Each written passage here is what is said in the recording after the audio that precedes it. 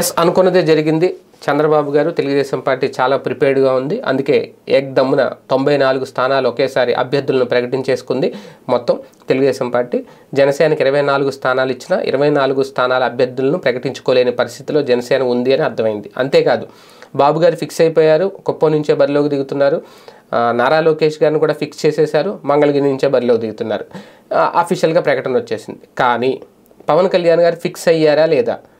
పవన్ కళ్యాణ్ గారు ఫిక్స్ అయ్యి ఉంటే ఈ పాటికి భీమవరం నుంచి ఆయన బరిలో దిగుతాను ఒక ఒక ప్ర- ఒక స్థానం ప్రకటించేసి ఉంటే రెండో స్థానం ఏంటనేది సెకండ్ లిస్ట్లో పెడతామని ఉంటే చెప్పుంటే బాగుండేది.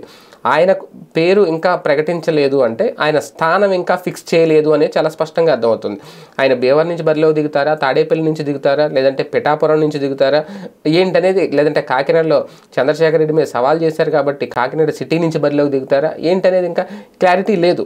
సో ఇటువంటి నేపథ్యంలో ఇప్పుడు ఇదే చర్చ అయితే నడుస్తుంది. పవన్ కళ్యాణ్ గారు ఆయన స్థానాన్ని ఆయన ఎందుకు ప్రకటించుకోలేదు? లేదు ఆయన ఎంపీగా బరిలోకి దిగుతారా ఎమ్మెల్యేగా బరిలోకి దిగుతారా అనేది కూడా. పవర్ షేరింగ్ విషయం కూడా ఎక్కడా మాట్లాడలేదు.